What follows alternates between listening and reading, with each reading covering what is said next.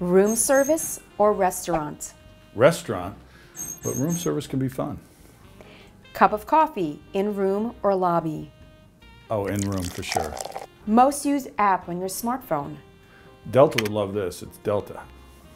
Twitter, Instagram, or Facebook? Twitter.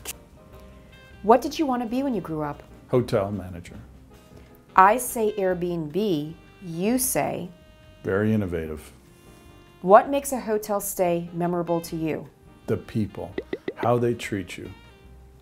What's the one thing hotel staff should never say to a guest? No, You chose hospitality because I love people. a bad day at work is when, We're not paid, a good day at work is when. we're paid.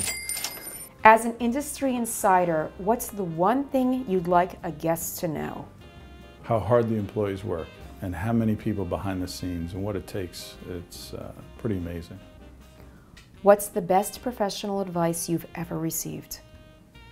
Believe in yourself. Don't let anybody tell you you can't do what you want to do. I'm Paul Breslin with Horwath HTL Managing Director.